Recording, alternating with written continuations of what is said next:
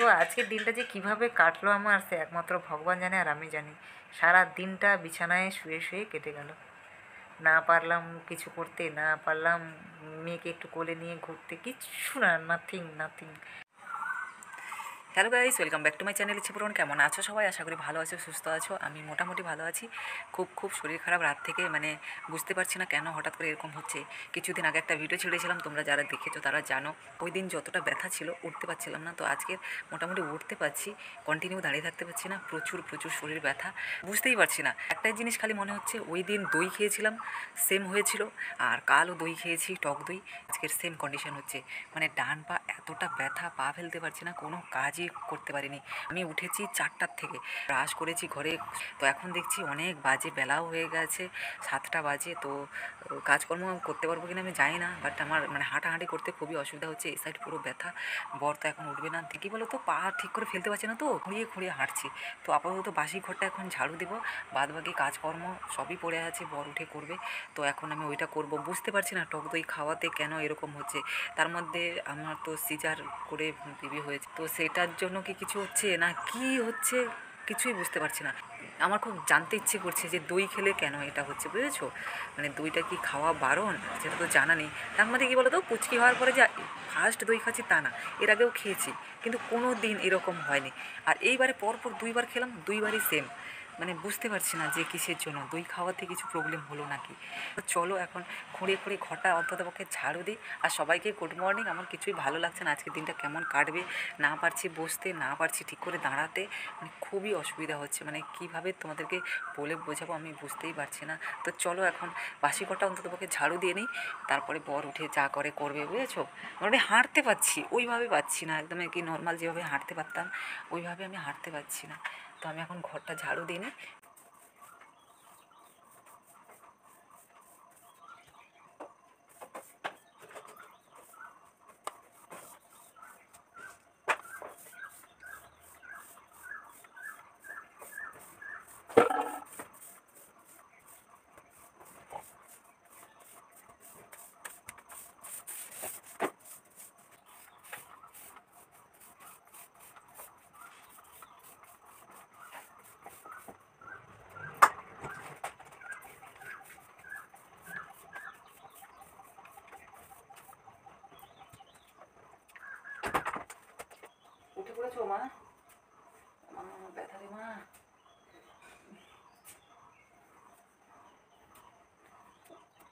মেয়েও উঠে পড়েছে, এই দেখো হাঁড়ি, এই যে থালা, সব পড়ে আছে। কারণ আমার সম্ভব না এভাবে গিয়ে বাসন মাজার। তার মধ্যে কাল মেয়ের জামাগুলো ধুয়েছিলাম তুলতে গিয়ে হাত থেকে সব নোংরাতে পড়েছে, ওগুলো আজকের আবার ডবল করে ধুতে হবে জাস্ট মানে কি সার্ফ দিয়ে না, হালকা করে জলে ধুয়ে নিতে হবে। এখন আমি তো কিছুই করতে পারব না, আমি উঠে পড়েছে। বাবা, একা নামো মা, আমি কোলে নিতে পারব না তোমাকে বাবা। নামো, নেমে হিসু করো। আমার বাবা ব্যথা বাবা না দেখো। তো চলো গাইস পরে আবার কখন সময় হয়, আসব তোমাদের সাথে কথা বলতে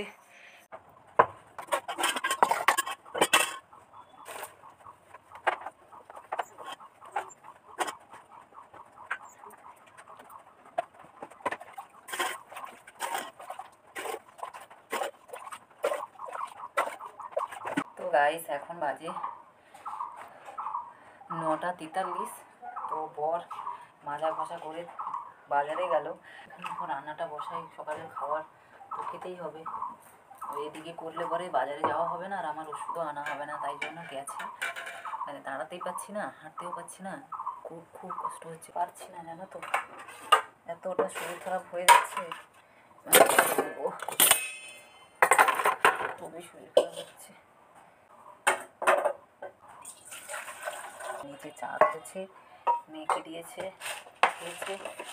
বাজারে আলু সেদ্ধ, ডালটা রান্না করি, পরেরটা পরে দেখা যাবে। নাড়াতেই পারছি না। দইটা খেলেই আমার এই সমস্যাটা হচ্ছে। কেন আমি বুঝতে পারছি না যে দইতে কি? দইটা খেলে কেন এটা হচ্ছে?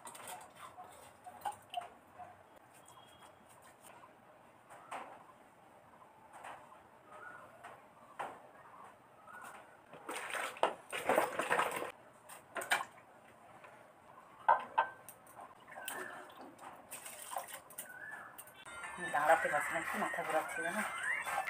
এখন ভাত হতে দেরি আছে, তো মুড়ি খেয়ে এখন ওষুধটা খাব, তাই মুড়িটা তেল দিয়ে মাখলাম পারছি না নাড়াতে গো।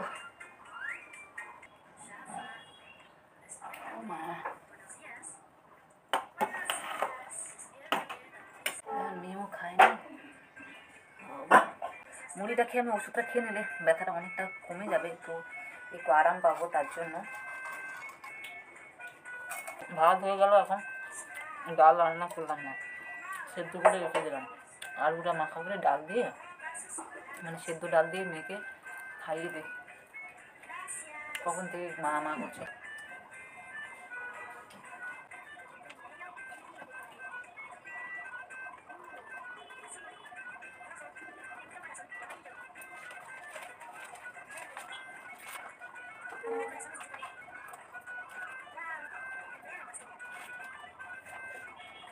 আর যেখান থেকে ওষুধ এনেছে ফার্মাসি থেকে ব্যথার ওষুধ দিয়েছে। ওরা তো কিছু বলতে পারবে না না, তাই জন্য বর জিজ্ঞেসও করেনি। বলল, একটু ঠিক হয়ে নাও।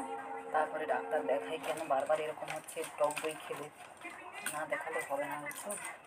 এখন ওষুধটা খেয়ে নিই যদি একটু কমে তাহলে শান্তি পাবো গো।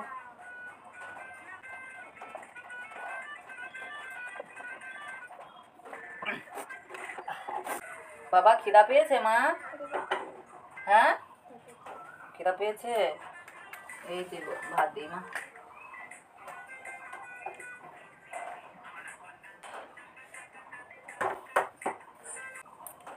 মেয়েকে এখন খাইয়ে দিই। ওষুধটা খেয়ে নিয়েছি। আশা করি আস্তে আস্তে একটু কমবে। ব্যথাটা। তো চলো, পরে কথা বলছি। হ্যালো গাইজ গুড ইভিনিং তো এখন বাজে পাঁচটা চল্লিশ। তো ব্লগটা আবার শুরু করলাম। সকাল থেকে ব্লগটা শুরু করেছিলাম, কিন্তু কন্টিনিউ ব্লগটা আমি করতে পারিনি।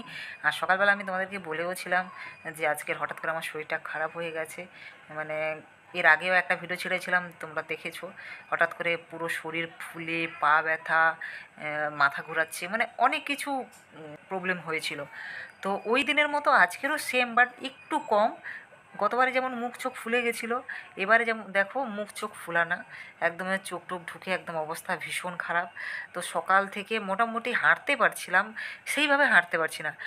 উঠলে মাথা ঘোরাচ্ছে, পা ঠিক করে ফেলতে পারছি না, বিশেষ করে ডান পা সেম গতবারেও তাই হয়েছিল। তো আজকের সারা দিনটা আমি পুরো বিছানা বিছানা থেকে একটু উঠতে পারিনি। উঠেই কোনো রকম স্নান করেছি, দুপুরবেলা কিছু রান্না করিনি, সকালবেলা বর কোনো রকম বাসন মেজে, চালটা ধুয়ে গেছে, ও আজকে প্রচুর ব্যস্ত ছিল।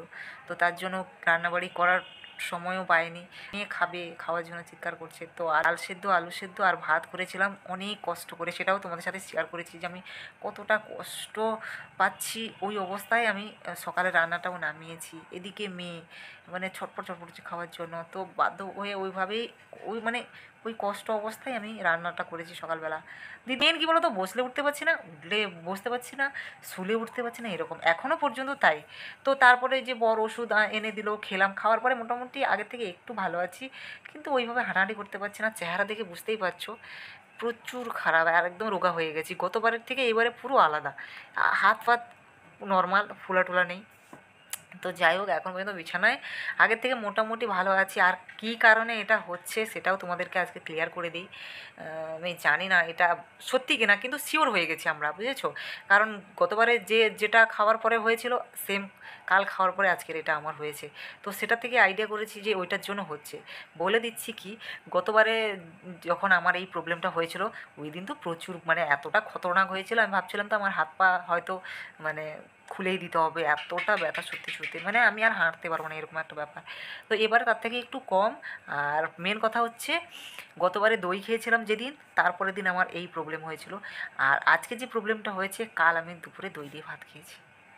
আজকের এই প্রবলেম মানে দই থেকে আমার হচ্ছে অ্যালার্জি তো দই আর আমার খাওয়া যাবে না। তার মধ্যে আমি সবসময় বলি, সবসময় বলিনি, মনে এক দুইবার বলে, বলেছি কোনো কোনো ভিডিওতে যে আমার সিজার করে বেবি হয়েছে। তো আমার মনে হচ্ছে সিজার করে যাদের বেবি হয়েছে, তো মনে হয় তাদের পক্ষে দই খাওয়াটা বারণ আর আমি যেভাবে কষ্ট পেয়েছি সিরিয়াসলি মানে আমি কোনো দিন ভুলতে পারব না। জানো তো, বাঙালির একটা ঘোড়া রোগ আছে। সুস্থ হয়ে গেলে আর ডাক্তারের দিকে তাকায় না। মানে যত সময় না, আবার সেই কন্ডিশনে যাচ্ছে। তো এবারে ভাবছি যে ডাক্তারটা দেখাবো। কিন্তু আমরা সবাই এটা ভাবলাম, আমার বড় তাই বলছে, আমার যে সর্দি থাকে সেও বলছে যে এটা দই থেকে হচ্ছে, বুঝেছ? কারণ দই যেদিন খেলাম তারপরের দিন। ওই দিনে দই খেয়েছিলাম, তারপরের দিন আমার এই প্রবলেম হয়েছিল। আজকে সারাদিন মেয়েকে কোলে নিতে পারিনি, সারাক্ষণ আমি বিছানায় শুয়ে আছি বলে। এখন মোটামুটি একটু ভালো আছি, আর ওষুধ চারটা এনেছে, ব্যথার ওষুধ, গ্যাসের ওষুধ। তো একটা খেয়েছি আর একটা রাত্রিবেলা খাব। আশা করি কাল হয়তো ঠিক হয়ে যাব। তো তোমরা জানতে পারবে, অবশ্যই তোমাদের সাথে শেয়ার করব। মানে ভালো লাগছে না জানো তো, এই বিছানায় শুয়ে থাকা।